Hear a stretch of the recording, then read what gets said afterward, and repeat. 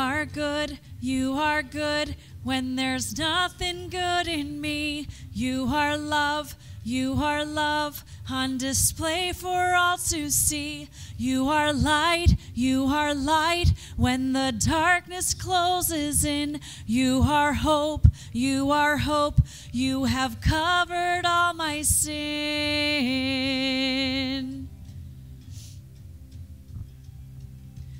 You are peace, you are peace when my fear is crippling. You are true, you are true, even in my wandering. You are joy, you are joy, you're the reason that I sing. You are life, you are life, in you death has lost its sting.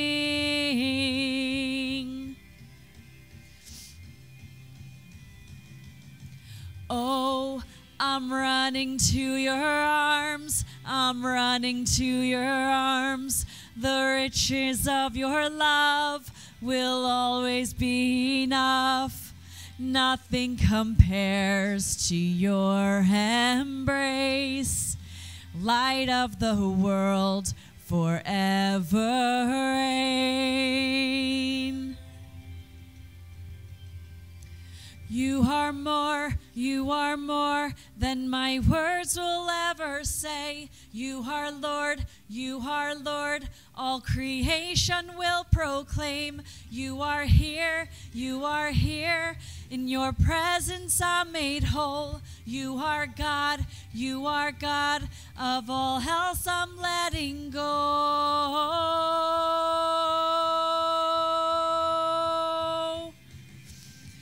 Oh, I'm running to your arms. I'm running to your arms. The riches of your love will always be enough. Nothing compares to your embrace. Light of the world forever reign.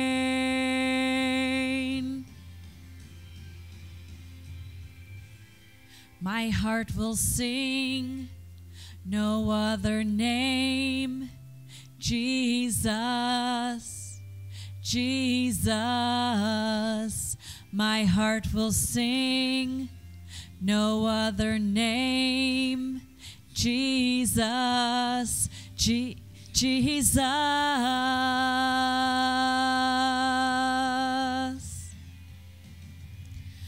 Oh, I'm running to your arms. I'm running to your arms. The riches of your love will always be enough. Nothing compares to your embrace. Light of the world forever reign. I'm running to your arms. I'm running to your arms. The riches of your love will always be enough. Nothing compares to your embrace. Light of the world forever reign.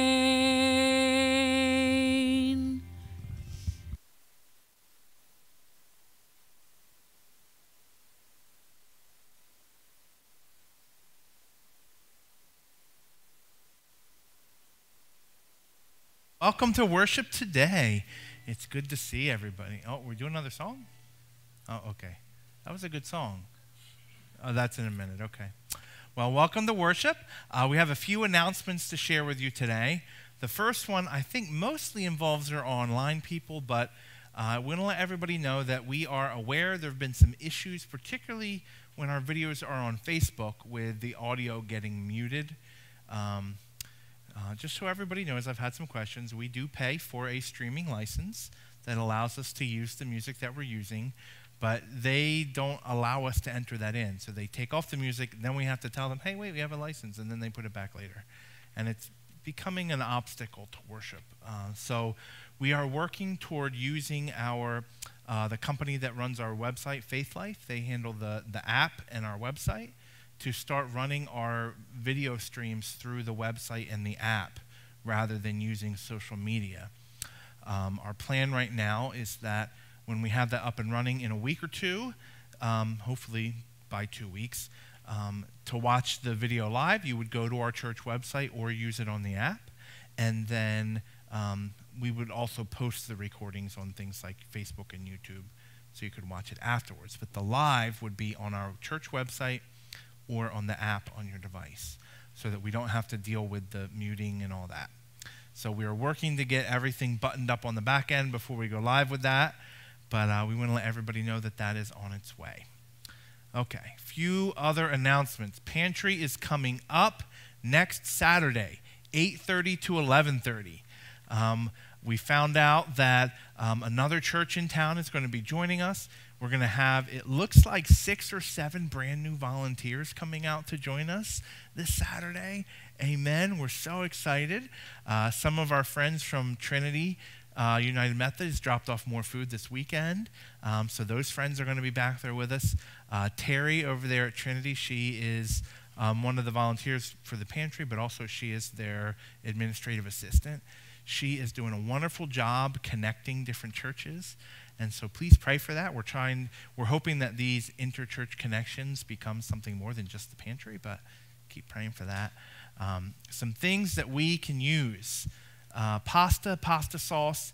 We're good on peanut butter right now, but we are low on jelly. So we asked for peanut butter and jelly. We got a lot of peanut butter, but not enough jelly. So that peanut butter to jelly ratio is really, well, it's a hard balance. So we can definitely use more jelly and uh, some of the other things up there. We can also use some of your garbage, um, not all your garbage, but um, empty, clean egg cartons and also plastic bags. If you have some that you were going to recycle, you can send them into us and we can reuse them. So those are some other ways you can contribute. If you're looking for a way to participate, there's even more options now than before. You can help us in our visits over to Village Arms. You can help with food deliveries. You can help with sorting or packing. Um, you can help on Pantry Day. Lots of different options there, but all different ways to get involved. If you are not currently involved in a ministry, if you're not currently volunteering somewhere, this would be a great way to start that. So if you have questions, you can talk to Darlene or Jim and Carol, um, me at the bottom of the list because they know more about it than me. Um, but yeah, so next Saturday, 8:30 to 11:30. Anybody you know who has a need, please send them to us. If you have a friend or a neighbor or a family member who needs food, you can come and pick up for them. So um, we want to make sure everybody who has a need gets a need. Um, yeah, wonderful donations.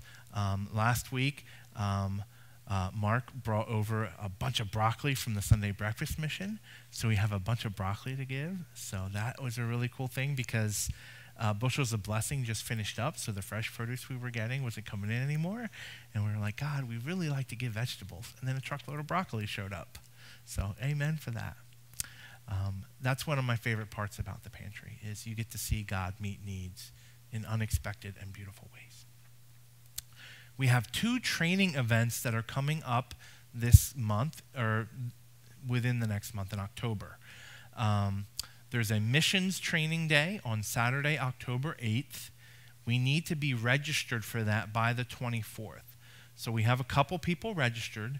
If you are interested in that and have not yet told me or Diane, please tell us because we need to have that registration in by Friday. Um, that is, that is a, a time to train about what's going on in the district missions wise, but also to talk about how missions works in the denomination. If you are interested in missions or possibly serving on our missions council, if you have ever felt a call to missions, um, the, they would all be great reasons to attend this training day. They always have a missionary speaker there, and um, yeah, it's a, it's a, a wonderful training time. We also have um, another training event coming. Oh, sorry, I'm out of order. Okay, it's in date order. Okay. Um, are we sure about the location for the men? Okay. Okay. So, October, um, we are having our Salem County Men for Christ and Women for Christ breakfast again. We believe these are the right locations, but hold, you know, don't put it in your calendar just yet on that location. But the dates and times are definitely right. Saturday, October 15th, The men are going to be at 8 a.m., the women at 10 a.m. We are working to confirm locations. Um, we think it's going to be women at the River Church and men at Sharptown for one more month, but we're not definite on that. So we'll keep you posted. We've got a few weeks to get that settled. Okay, here is the other training opportunity the Momentum Training Day. Now, this one is not until October 29th, but there is early bird registration and it's $10 cheaper. And, you know, penny saved is a penny for alabaster, right? So, if you are interested in momentum, we would really like to register by October 1st so that we can get the discounted price. We have, I believe, at least four people going right now. Um, the focus of this training day is on becoming a disciple maker, on, on how to fulfill the Great Commission. And who does the Great Commission apply to? Everybody. So anybody who's interested is inviting, invited to attend this. Um, we can work to get you registered. We're going to carpool. If you want to drive yourself, you can, but you know, carpool is always fun. Um, it's going to be at the Lansdale Church over in Pennsylvania on October 29th from 9 a.m. to 3 p.m. And uh, we've got some wonderful speakers. Um, Pastor Frank Shore is kind of heading up this event. Uh, Pastor Bud Reedy, that a lot of you know, he's going to be speaking there.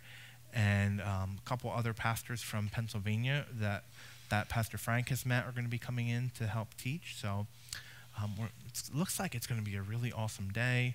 Uh, the Lansdale Church's worship team is going to be leading worship that day. So we're going to have a group time of worship, we're going to have a group session, and then also some breakout sessions and lunch. So the, the idea is um, to be intentional, relational, and reproducible, right? That discipleship is not something that happens by accident, that it's done through connections between people, and that as a church we're supposed to be reproducing, right? If we are a thriving, living body, we should be growing. So if you have questions about that, please talk to me. There is a QR code in the bulletin. If you want to scan that with your phone, it'll take you to the site so you can see all the details too. But uh, yeah, we're excited about that as well. Lots of stuff going on. Another thing going on, no, we are going to talk about that. Go back. Thank you. Um, October 30th through November 2nd, we are having a fall zone revival. So you might say, Pastor Paul, what's the zone? Well, um, in our denomination, we kind of break the world up into first uh, world areas or regions, right? So we're in the USA Canada region, okay? And then that's broken up into districts. We're in the Philadelphia district, which includes uh, roughly the southern half of Pennsylvania, or the southern half of New Jersey, and the eastern half of Pennsylvania, roughly. Um, so we have churches as far north as Trenton and as far east as Williamsport. So that's kind of our little corner of the Northeast. Now, our zone is southern New Jersey. So that's, um, let's see, there's us, there's Cape May, there's Millville, there's Vineland, there's Bridgeton, there's Port Elizabeth, there's Northfield, and Pitman. Yeah, so there's eight churches in our zone, I believe, unless I did that wrong. And so uh, those eight churches are going to be participating all together in revival services. Um, so these are a lot of people you might have seen at camp or other activities. We're going to be at the Bridgeton Church October 30th through November 2nd, 7 p.m. to 8:30 p.m. We are not having any activities here at our church on those days. So October 30th is a Sunday, so no Sunday night service on the 30th, no men's group on the 31st, no women's ministry on the 1st, and no Wednesday night prayer meeting on the 2nd all, all of our focus is going to be going together at Bridgeton. Now, I know it's a little bit of a drive, and not everybody's able to make it. We would like to arrange carpooling for people who want to do that, but also the Bridgeton Church will be live streaming all of the services. So if you go to Bridgeton Nazarene's website, they will be live streaming them on their church's website. So hopefully, there's a way for lots of people to participate. Um, we are talking about the possibility of baptisms during this revival. So, if you have thought about getting baptized and are interested, this would be a really cool opportunity to do that. Any questions about our zone revival? Oh, speakers. We are going to have a different pastor from a different church speak each night. Pastor Carey is going to be speaking on November 2nd, and uh, let's see, Pastor Des from Millville is preaching one night. I believe Pastor Chris from Bridgeton is opening us up. And um, I, Pastor Shane, I think, is the other person preaching. But you'll get to hear different pastors every night. And um, the worship team is going to be made up of people from the worship teams of all the different churches. So it'll vary a little bit, but our own Pastor Matt Brown is helping lead that up. So um, it'll be a great, great, great, great time of worship and revival. So please pray as we prepare, and we want everybody to be invited. Our last announcement is about Alabaster. We are off to a running start. You guys are doing so awesome. We have had multiple uh, $100 donations. So people are doing more than just putting pennies in their alabaster boxes. So thank you to everyone who's made donations. Um, our initial goal was to raise more than we've ever raised, which would put us in the $700 range. And somebody said, well, how about $1,700 range? So that's our new stretch goal. We are going to try to hit $1,700 this month. That's a lot of money. That, that buys a lot of cinder blocks, right? So if you have not yet made a donation to Alabaster, you have the whole month of September to do that. If you would like to get geared up for the next time we do an alabaster offering, you can take home an empty alabaster box to fill up. Those are out in the foyer. And um, we're just really blessed. Um, almost every week when we have our um, global prayer requests come in through NMI, we get to hear praises of the way alabaster money is helping missions happen around the globe. It's such a wonderful thing and just in case you didn't hear in, in our previous announcements, 100% of the money that's donated to Alabaster goes to Alabaster projects. The Church of the Nazarene covers all of the administrative costs. So everything that's donated goes to a project. None of this goes for staples and paper clips and copy machines, okay? It all goes for Alabaster projects. Um, that's one of the strong commitments of the Church of the Nazarene. The same thing happens when you donate through Nazarene Compassionate Ministries. Like when we do disaster relief, the, the, the denomination covers the administrative costs so that 100% of what is donated goes to the thing that you're supporting. So it's one of the things that we are very happy about in the Church of the Nazarene. And um, we want you to know that you can trust where your finances are going. So if you have any questions about alabaster, I got one. You got one? Oh, what's your question? If you look at my display, it's missing something I need. What oh, is your display oh, missing? Put, putting money in. that's what I need. Large denominational bills. I'll display them. I see a pretty big range there, Daryl. I got a dollar. I see a dollar bill over there, but I, I got new glasses. But what is over in that other box? Yeah, I see a hundred. I think that that dollar bill has some zeros after it. Yeah. Well, that's pretty fancy, isn't so it? So I need a little help. There's a couple more empty boxes there to fill up. We could definitely fit a lot of hundred dollar bills in that church. Also, gold doubloons. And Bitcoin. Bitcoin. I don't know about Bitcoin. That's a little, yeah. Convert your Bitcoin to gold doubloons and then bring that in.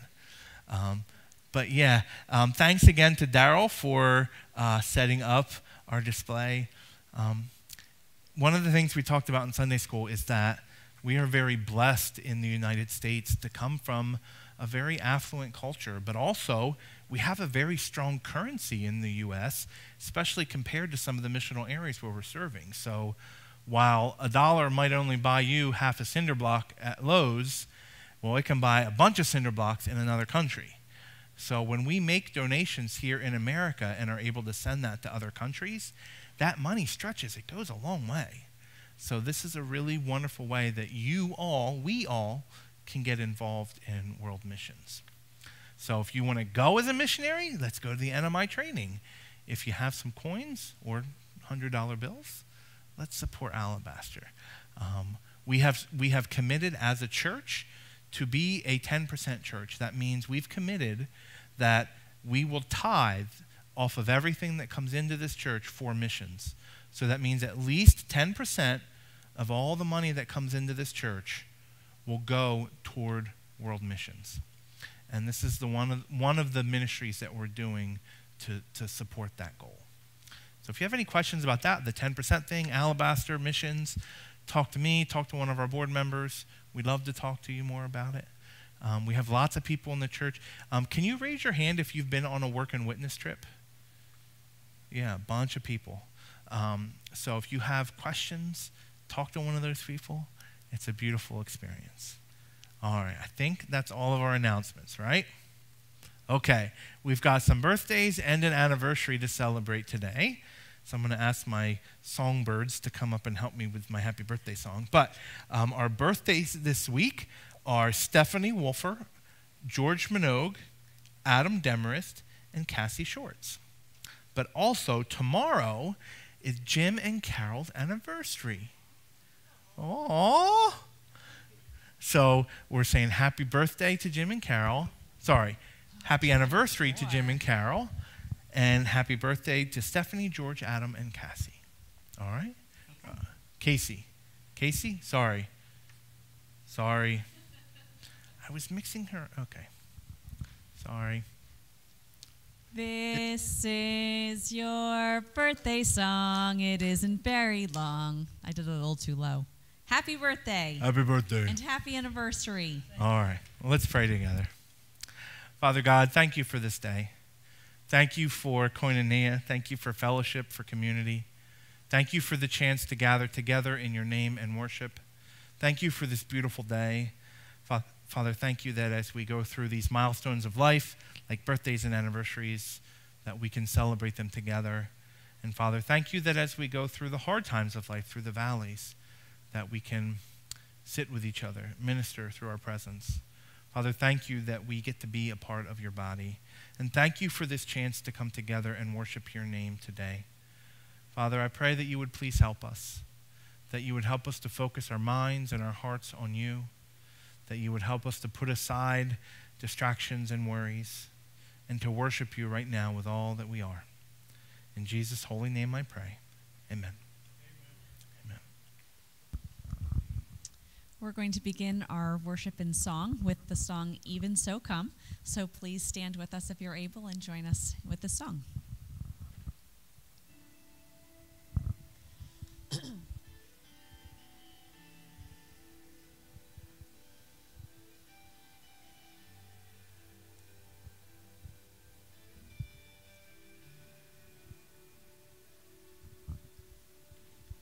all of the earth.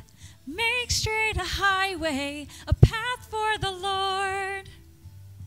Jesus is coming soon. Call back the sinner, wake up the saint. Let every nation shout of your fame. Jesus is coming soon. Like a bride waiting for her groom, we'll be a church ready for you. Every heart longing for our King, we sing, even so come. Lord Jesus, come. Even so, come. Lord Jesus, come. There will be justice, all will be new. Your name forever, faithful and true. Jesus is coming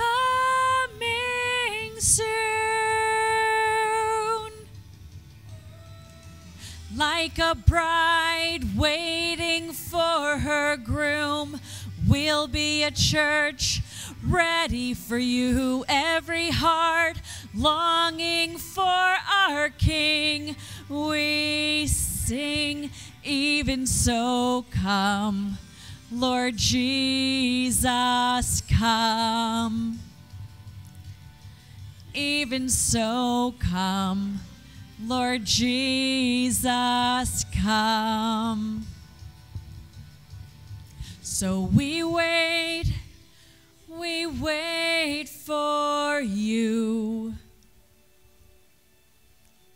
God, we wait, you're coming soon. So we wait, we wait for you. God, we wait, you're coming soon. Like a bride waiting for her groom.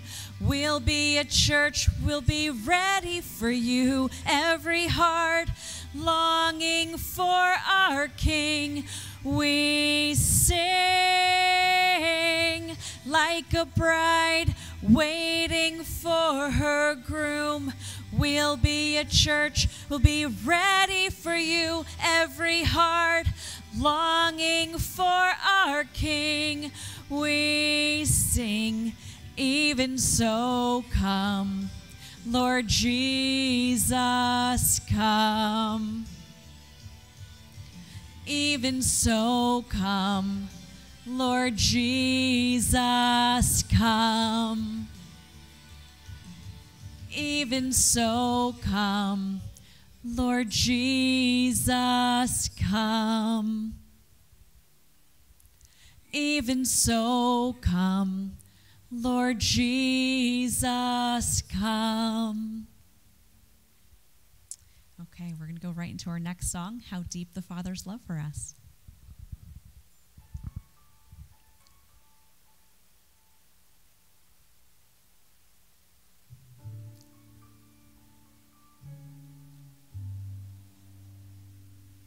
How deep the Father's love for us, how vast beyond all measure, that He should give His only Son to make a wretch His treasure. How great the pain of searing loss! The Father turns his face away as wounds which mar the chosen one bring many sons to glory.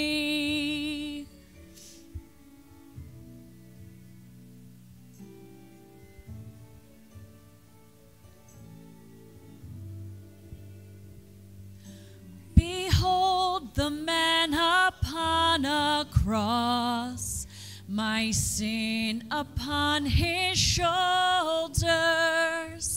Ashamed, I hear my mocking voice call out among the scoffers. It was my sin that held him there until it was accomplished. His dying breath has brought me life. I know that it is finished.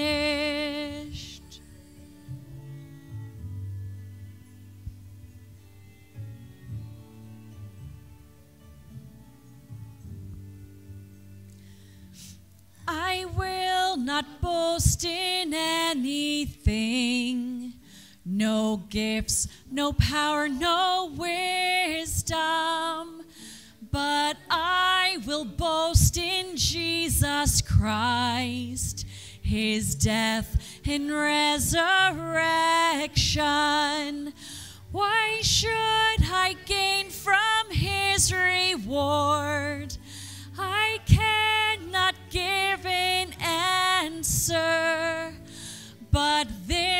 I know with all my heart. His wounds have paid my ransom. Why should I gain from his reward? I cannot give an answer, but this I know with all my heart. His wounds have paid my ransom.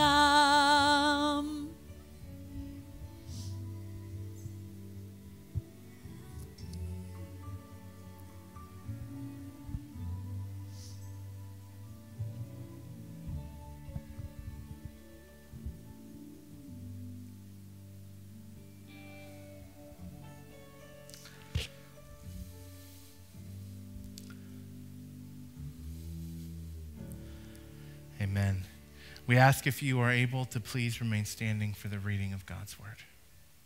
Thank you.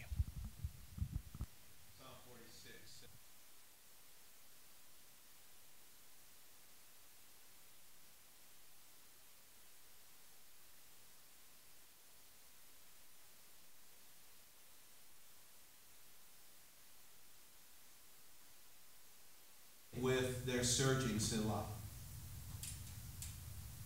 There is a river whose streams make glad the city of God, the holy place where the Most High dwells.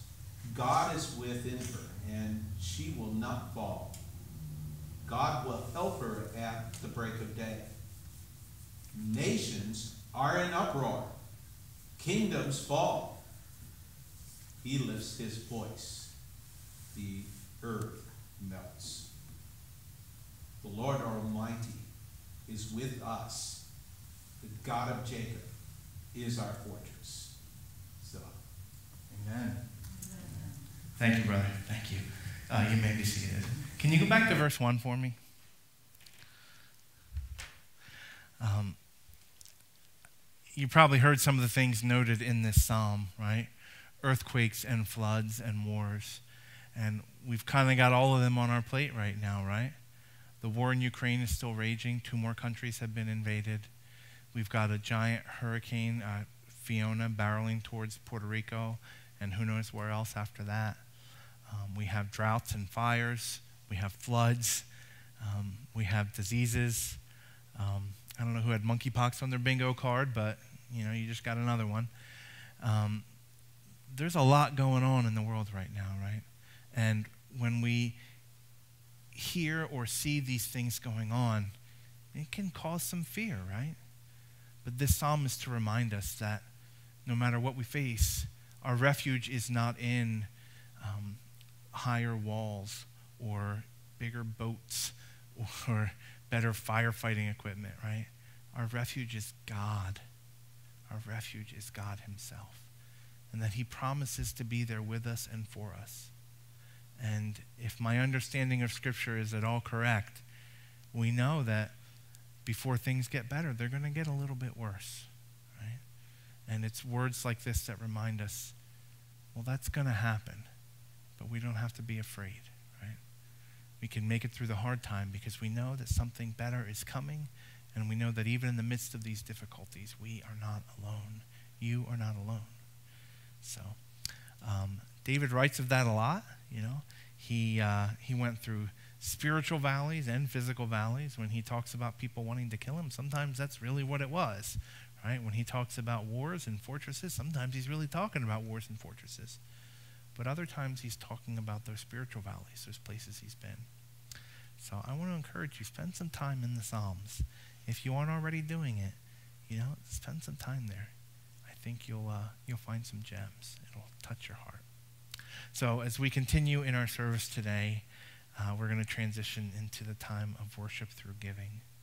It's a time where we give back God's tithe and our offerings, a time where we say thank you to God for all He has done to provide for us, and a time where we give sacrificially to help others. So, please join us uh, in a prayer of blessing over the offering. Father God, Thank you for all that you have done for us and all that you have given to us.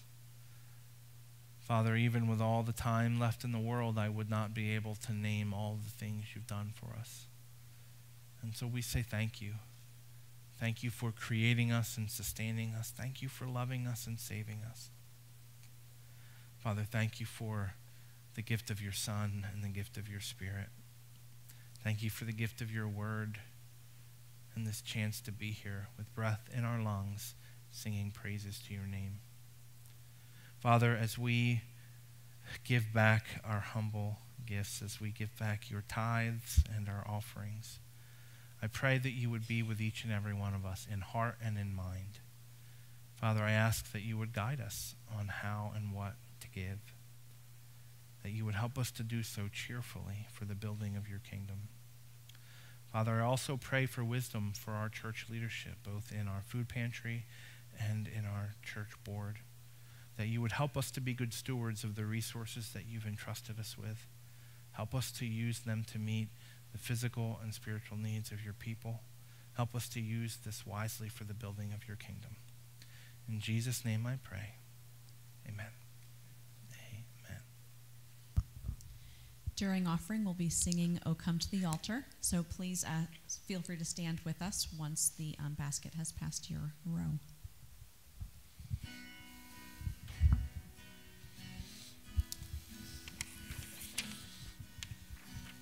You hurting and broken within, overwhelmed by the weight of your sin.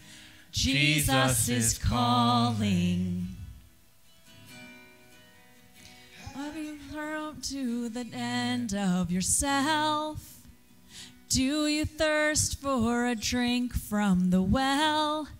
Jesus is calling.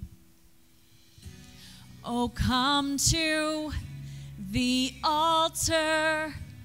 The Father's arms are open wide. Forgiveness was bought with the precious blood of Jesus Christ.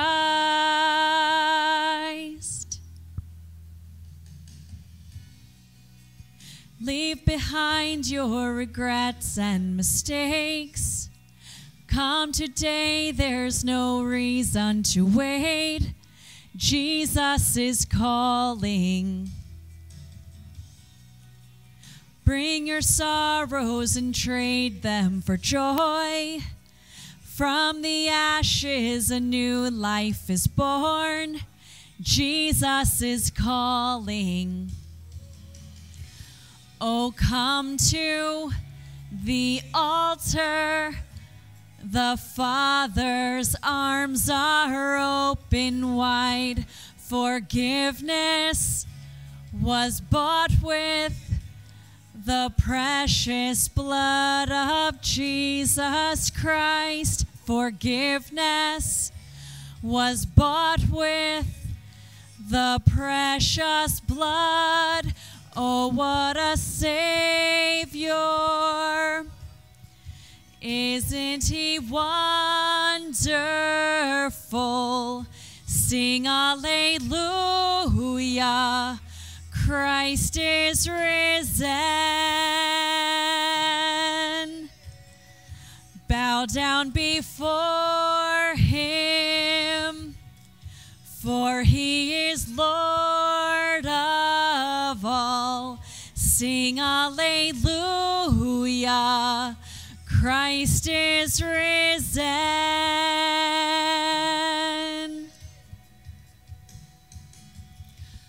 Oh, come to the altar.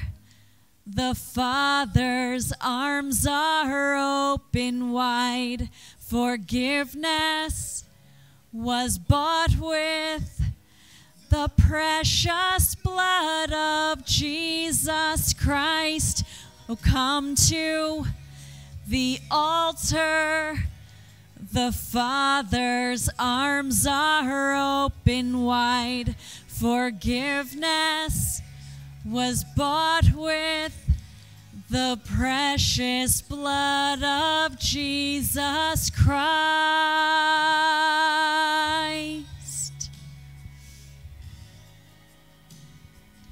Father's arms are open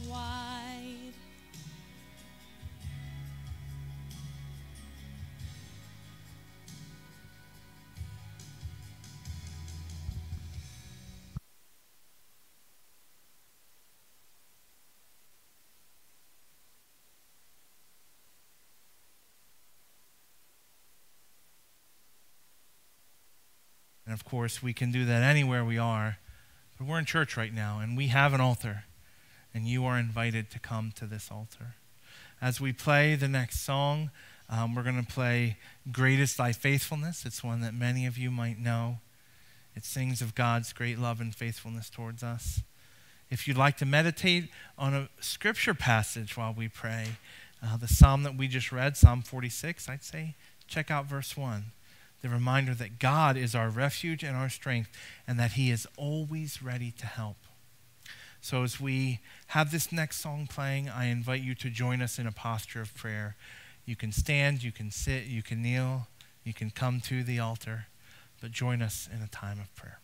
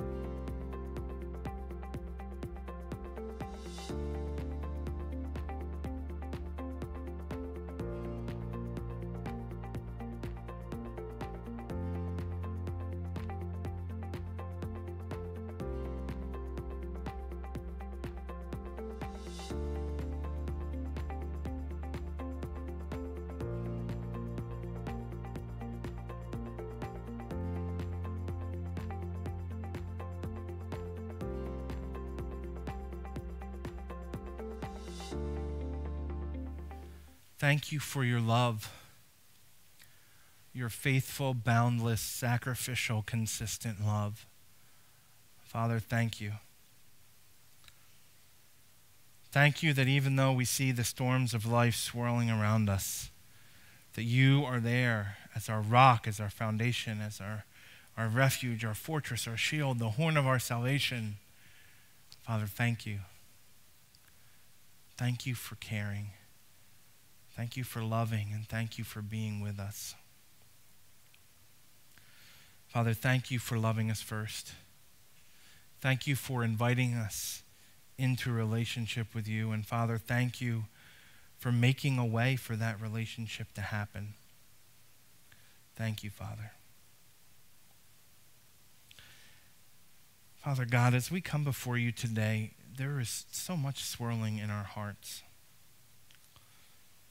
So many people, individuals, and families in our congregation are dealing with hard times right now, Father, with, with medical troubles, with financial troubles, with relationship problems. Father, we look at the world and we see storms and natural disasters and wars. And Father, we, we cry out. We cry out to you. I pray that when we experience these things, Father, that they would not drive us away from you, but they would remind us to turn towards you. Father, I know that it is not within our strength or our wisdom to solve or fix these issues. I know that we're not smart enough to figure a way out of humans having war, and we're not strong enough to stop a hurricane. Father, help us to admit our shortcomings and our need. Help us to know it. As our brother Paul said, Father, help us to know that your grace is sufficient. And help us to experience your power made perfect in our weakness. Father, I also pray that you would help us not to, to be fatigued over the level of need that we encounter whenever possible. Father, help us to help. help us to see the need, to recognize how we might be able to help, and to step in. Father, I know that we cannot feed every hungry person in the world, and I know that we cannot clothe every cold person in the world. But I pray that wherever possible, you would help us to love like you love, to love sacrificially. Father, help us to experience that. These things that I'm asking for, Father, the changes in our hearts and, and the help to love, I don't just pray for them for us as individuals. I, I ask them for us as a community, and, and I don't just mean our church, Father. I mean our town, our, our state, our nation. Father, help us to come together as your children I echo the prayer that your son prayed in John 17. Father, help us to know unity. Help us to be united in our love for you, our worship of you, our obedience to Christ. Father, help us to be different. I pray that when the world looks at your children, that they would have no doubt that we belong to you that they would see the family resemblance not in how we look, but in how we live. So, Father, help our lives change so that we bear a resemblance to your Son. In Jesus' name, amen. Amen. So, I wanted to start out today talking about questions. Were any of you a why child? Do you know what a why child is? The kid that always wants to say why. Why are we going here? Why are we going there? Why does that do that? Why does this happen there? I was a why child. Anybody else? Are you surprised, Charlie? It's hard to remember. Yeah, it's hard to remember. Um, my mother's wish came true, and I was blessed with two Y children although their whys are different, especially as they get older. Um, but you, you ever noticed that people, we just, we want to know? We want to know why? Why did you do that? Why does that happen? Why is this there? Why can't we do it this way? Um, you know, I think those why questions um, about the Bible, well, especially when we look at people in the Bible who ask those why questions, sometimes it leads to a beautiful encounter with God, right? When people turn to God for the answers to those why questions. But sometimes it leads to disaster, especially when people turn to a source other than God for the answers to those why questions. I think the, some of the most disastrous are when we try to find the answer ourselves, like the pokey little puppy, right? Uh, Adam and Eve had a why question, right? Why can't I eat that? Right? I mean, God said not to, but it looks good. Why can't I have that? David looked down from a roof into a window and said, Why? Why can't I have Bathsheba? I'm the king after all. You know, those why questions, they can get us into trouble. Maybe the hardest one or the most consistent one is why can't I do it my way? Why can't I do it my way? I find as a parent that those are the encounters that um, bring the most vein bulging rage to my life, right?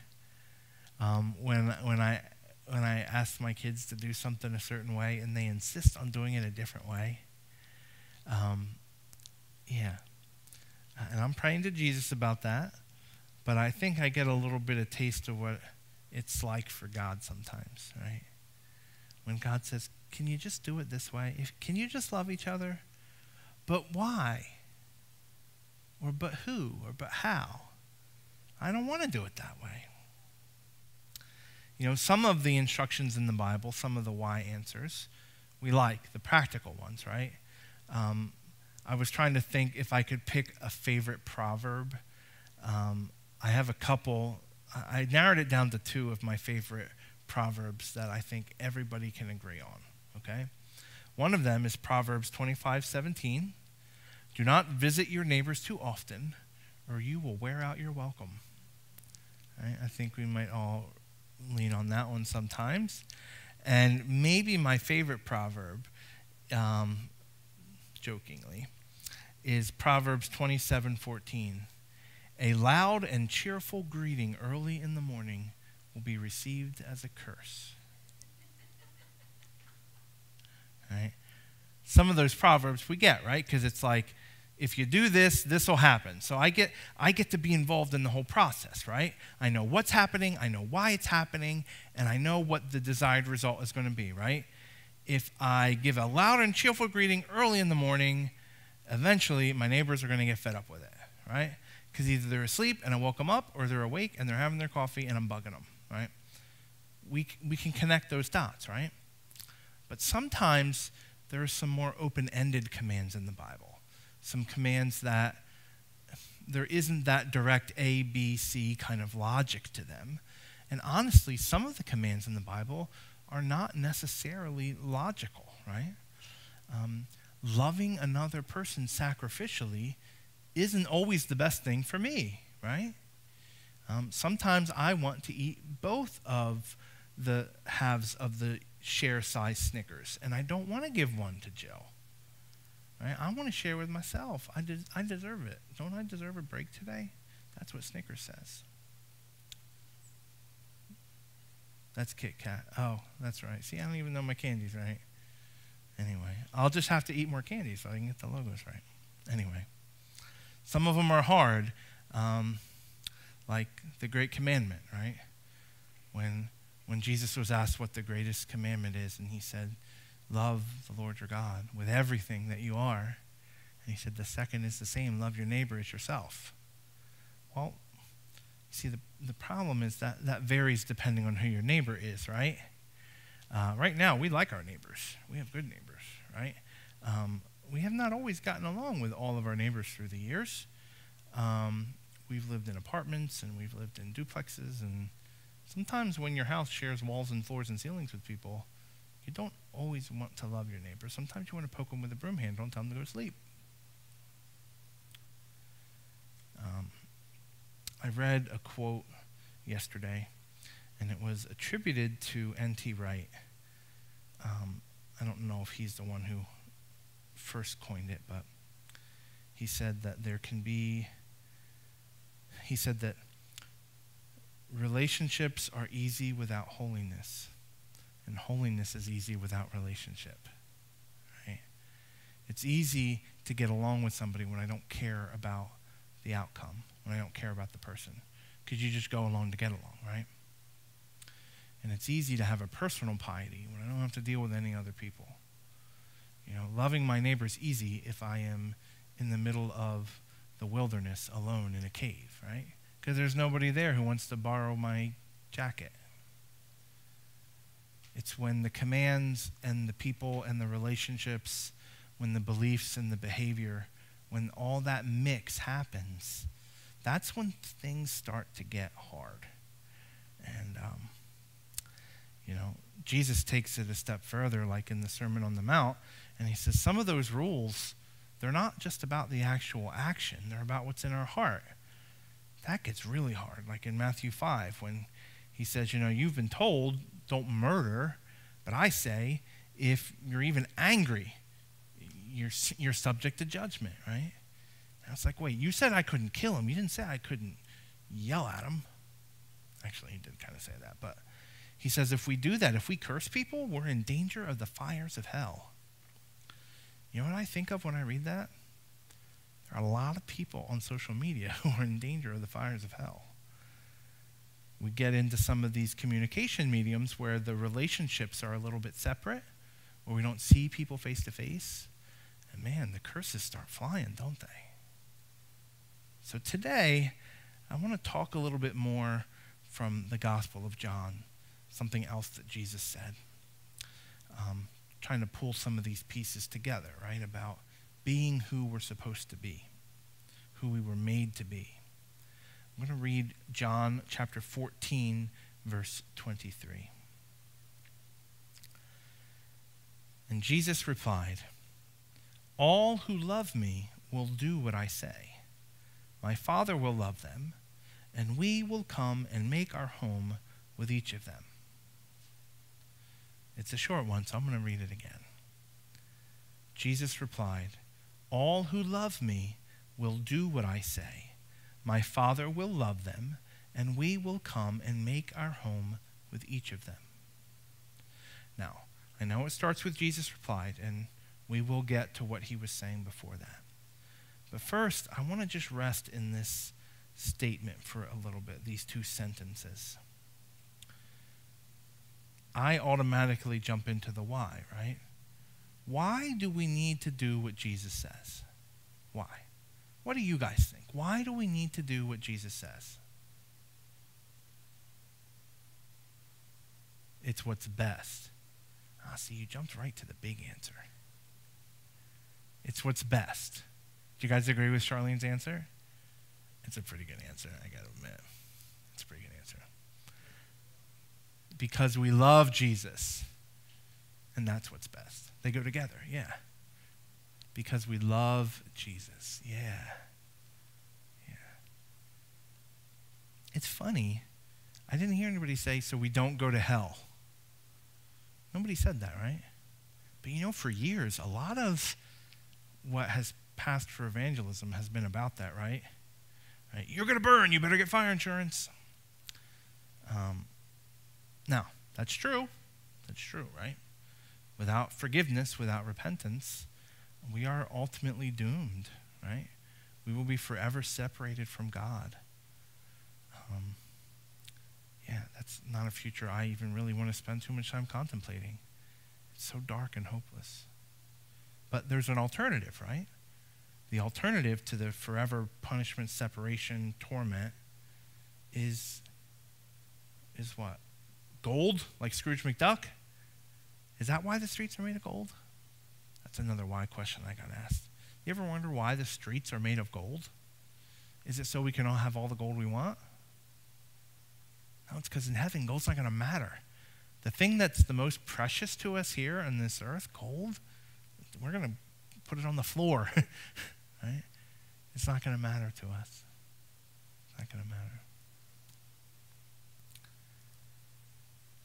You know, Jesus wants us to have a right relationship. It's right there in the verse, and I'm, I'm guessing that's probably why Charlene and Jim went the direction they went with their answers. Um, you know, we listen to a teacher so we can learn, so we can pass a test, right? We listen to a coach so we can develop our skills or so that we can win a game.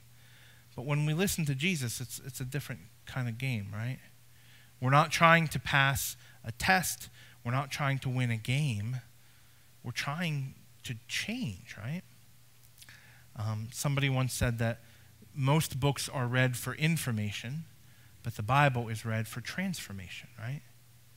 So when we come to read the words of Jesus, when we study his life, when we learn what has been said by him and through him, through other teachers in Scripture, it's so that we can change, so that we can change because he's offering us something different. You know? in earlier verses, Jesus has directly addressed hell and eternity. But here, he's speaking of eternity in a different way. In chapter 14, he's speaking of eternity in the affirmative, of a gift that is being offered, right? Because ultimately, our goal is not just to avoid punishment, right? If, you know, my only goal in life is to not go to prison, is that going to make me a good citizen? No, in fact, it might make me a good criminal, right? Avoiding punishment does not bring about the right goal, right? Jesus is inviting us into relationship with God. Do you remember what John the Baptist said? What did John the Baptist say? Repent, right? And do you remember why he said repent? He said, Repent for the. Okay. Yeah, for the kingdom of heaven is near. Do you think that was a threat? Do you think that was a threat? When my mom was a kid, her dad worked shift work. And my grandmother did sometimes use that phrase, right? Wait till your father gets home, right? Um, yeah. She told me this story the other day. When she was growing up, they had a Weimaraner, um, you know, the, the German short hair bird dog. She was really smart. And her name was Queenie. And Queenie knew that she was not supposed to be on the second floor of the house. That's where all the bedrooms were, right? And so my grandfather had trained her to not go on the second floor, right? But when my grandfather would work the overnight shift, they called it hoot owl. When, when he worked the overnight shift, do you know what Queenie would do? Yeah, she'd go upstairs and she'd climb in my mom's bed. And do you know what she would do when she heard my grandfather's truck pull in the driveway? She would run back downstairs and sit at the back door, acting like she had been downstairs the whole night. Right? You see, she had mixed motivations, right? She didn't want to get punished, but she also wanted to sleep in the bed upstairs. And so her behavior became kind of dualistic, right? When she knew my grandfather was there and paying attention, when she get in trouble, she stayed on the first floor. But when she knew she wasn't going to get in trouble for it, she snuck up in the bed. Now you might be thinking, Pastor Paul, why are we talking about dogs? Well, because Queenie was an awesome dog. She had pet chipmunks. I'll tell you about that some other time if you want. But it's because it's what we do, right?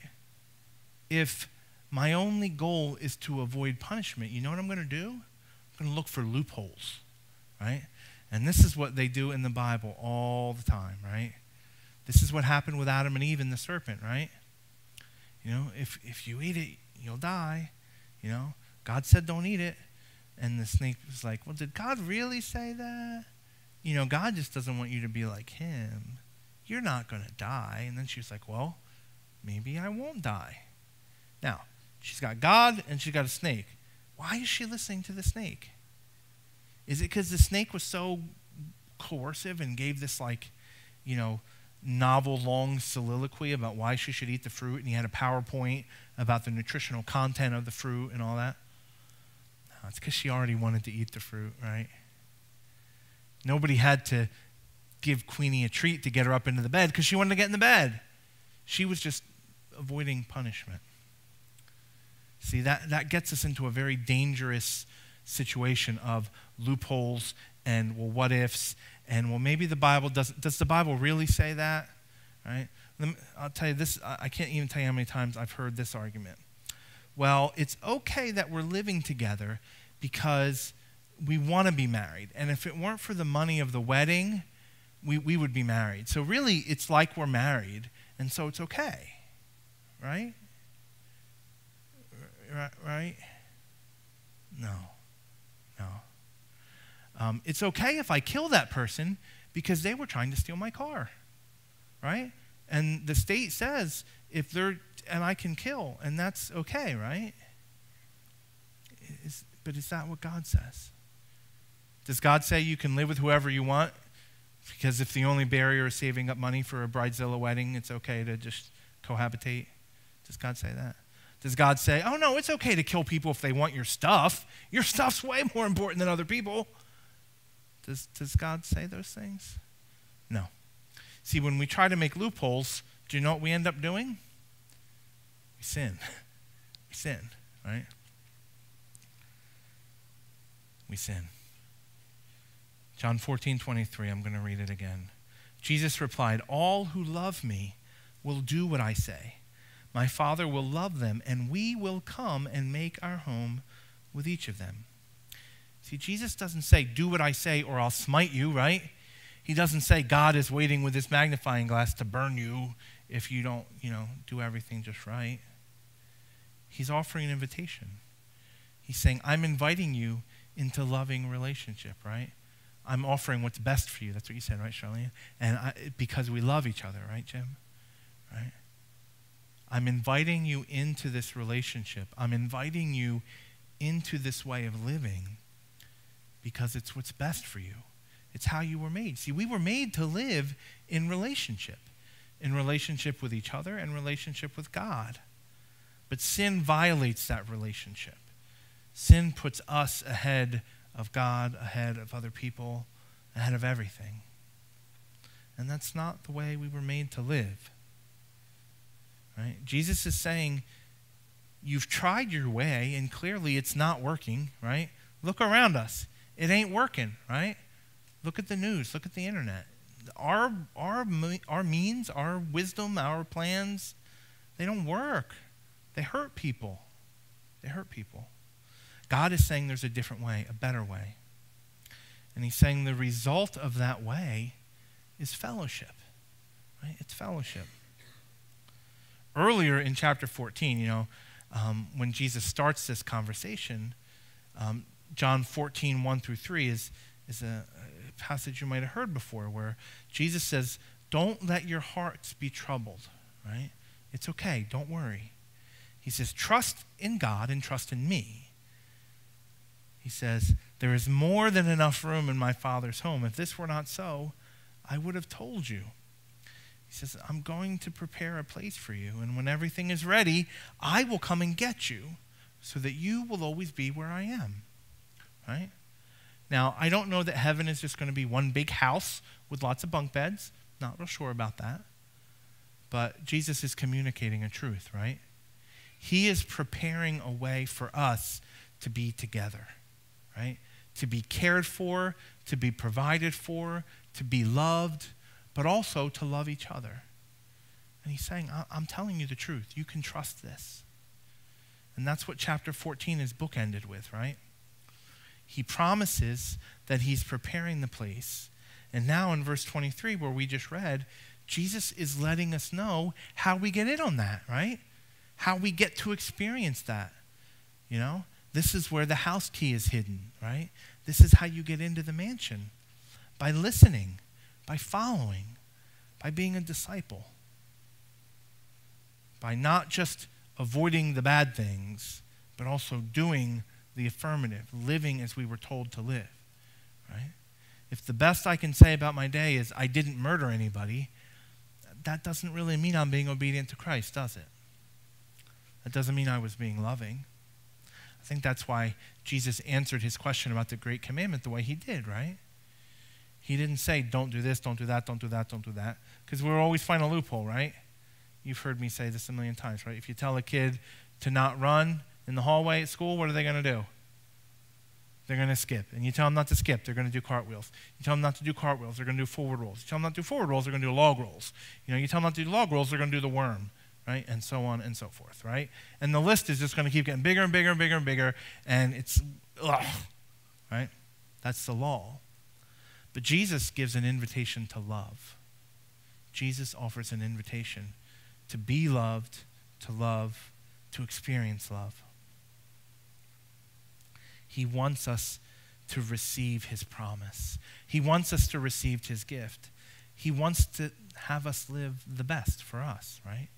The best. Jesus wants a full house, right? Jesus wants a full house.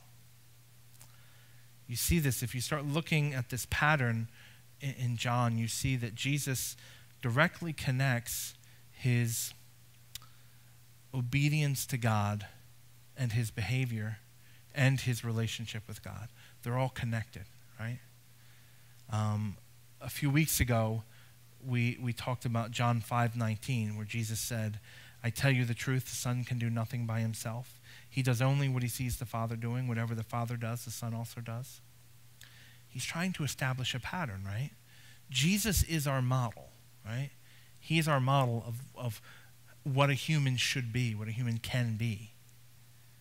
And his model is to be in obedience to the will of the Father and to live in right relationship with the Father, to have unity.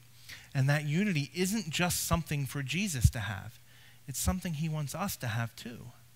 When he prays for us in John 17, he says he prays that we, all believers forever, that, that we would all be one just as God and Jesus are one. He says, As you are in me, Father, and I am in you. Can you imagine that? Jesus wants us to experience the same love and unity that the Trinity experiences. A love and unity that's so profound, we can barely even think about it, right? Jesus says, When you've seen me, you've seen the Father, right? Can you imagine that? To, to be so closely identified with another person that when somebody sees you, they can say they're seeing that person. It's like an identical twin, right? Yeah, except even more so. Even more so. This is what Jesus wants for us to be united? And when we choose sin, when we choose a different path, we choose to break that relationship. The way we see that happen in the garden is that before the fall, God came and walked with Adam and Eve, and they talked together, right? And everything was was uh, copacetic, right? It was beautiful, it was peaceful, it was connected. And when they chose sin, they had to leave the garden. They were separated from God. And it starts this cascade of sin where people are grasping and clawing and afraid and angry. You know, you have Cain killing his brother. The first death in the Bible is a murder, right? And so on and so forth. Tower of Babel, Noah and the ark. It keeps going, right? God doesn't want us to live that way. He doesn't want us to live at each other's throats, right? God doesn't want us to live in such a way that seeking our good causes harm to someone else. Right? When Jesus loved, he loved in such a way that he put the other first, right? He did what was best for the other person. And most of what the world tells us to do is to do what's best for us at the expense of the other. Did I ever tell you guys a story about a friend of mine who sold a used car? This will be where we close. So this guy, he was selling a used car. It was a Honda Accord.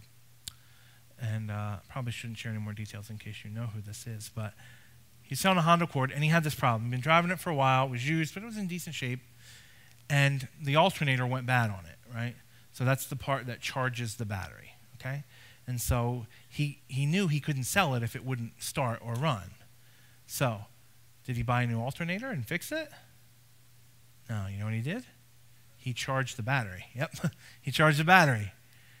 And then he hurried up, took it off the charger, drove it to the person's house who was buying it, and there was just enough charge in that battery to get the car over to the house.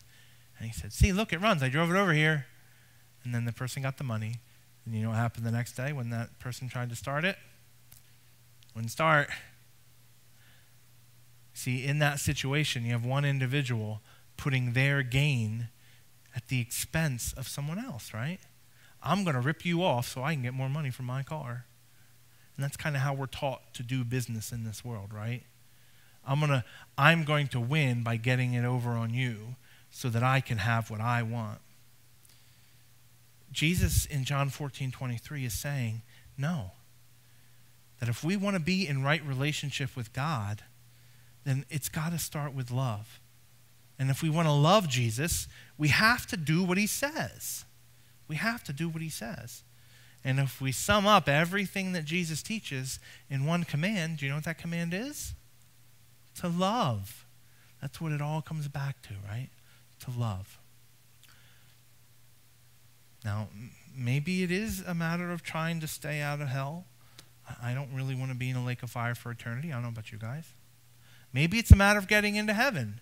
You know, heaven sounds like a pretty cool place, right? But maybe it's about understanding what's best for us, right? Living what's best for us. And not just for me, but for you, for all of us. Because when we live this life of love, when we experience this unity, it's for all of us, right? That's the picture Jesus paints a whole big family living together in one house, getting along and being happy. This is what he wants for us, but it only happens when we listen to him. When we choose sin, we break this promise. When we choose sin, we build a wall in this relationship. Right? Jesus is saying, don't do that. Right? He wants us to find our way home to him. We're lost, but he wants us to be found. So if you know that, if you have been found, amen. Thank God. If you haven't, know that God loves you, that he desires a relationship with you, that he loves you so much that he gave his son for you. And here's the last thing if you do know this, go invite other people. Jesus said himself, there's lots of rooms, and he wants them all to be full. Go tell somebody. Go tell somebody. Please join me in prayer. Father God, thank you for your word. I thank you for this chapter in John where we can read the words of Jesus. Father, I pray that you would help us to love you, to love Jesus with all that we are. I pray that we would experience what it is to have you come and make your home with us, to dwell with you, that you would be our God and we would be your people, like it says in the prophets, like it says in Revelation. Father, I pray that we would know that, that love, that unity, that shalom, that contentment, security. Father, help us to know that deep inside. Help us to know that your grace is sufficient. Father, help us to experience the transforming power of your Holy Spirit, where we would be able to consistently love other people. Father, help us to do that. Help us to love others. Help us to put others first, to not try to seek what's best for us, to control and manipulate and exploit. Father, help us to put those ways behind us and to go forward as your children, as your disciples, living as your Son taught us to live. In Jesus' name I pray. Amen. Amen. We'll be finishing up the service this morning with the song Forever Reign. So please stand with us if you're able and join us in the song.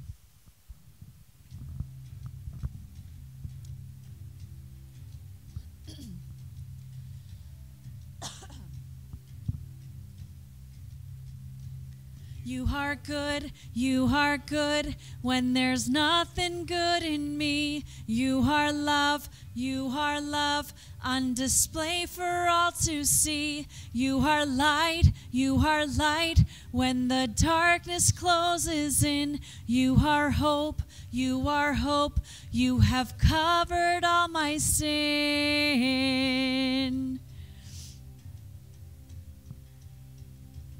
You are peace, you are peace when my fear is crippling. You are true, you are true, even in my wandering. You are joy, you are joy, you're the reason that I sing. You are life, you are life, in you death has lost its sting.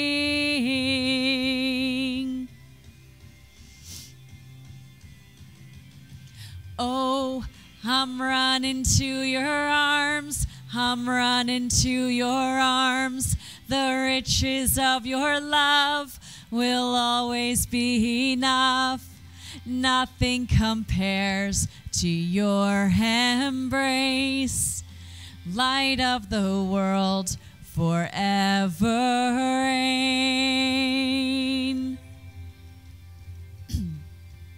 You are more, you are more than my words will ever say. You are Lord, you are Lord. All creation will proclaim. You are here, you are here. In your presence I'm made whole. You are God, you are God. Of all else I'm letting go.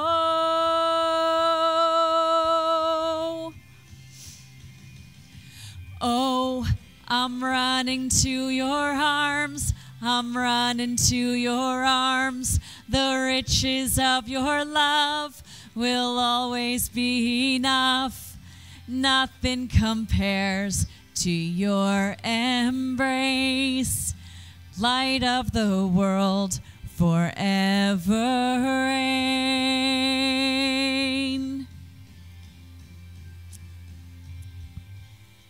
My heart will sing no other name, Jesus, Jesus. My heart will sing no other name, Jesus, Jesus.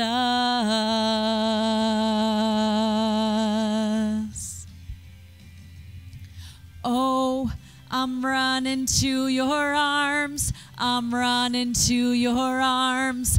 The riches of your love will always be enough. Nothing compares to your embrace. Light of the world forever reign. I'm running to your arms. I'm running to your arms. The riches of your love will always be enough. Nothing compares to your embrace. Right of the world forever reign.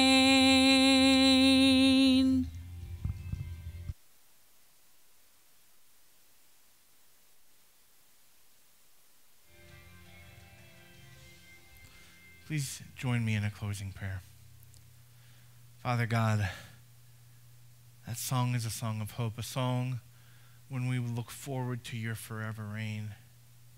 And Father, I pray that that reign would start in each of our hearts today, that that reign would start in our church, that we would experience the kingdom of heaven come near, that we would experience the indwelling of your Holy Spirit that we would experience the cleansing power of your Son's blood and the transforming power of your work within our lives. Father, I pray, like, like Ezekiel spoke, to have our stony hearts taken out and, and to have tender hearts that would seek to follow you.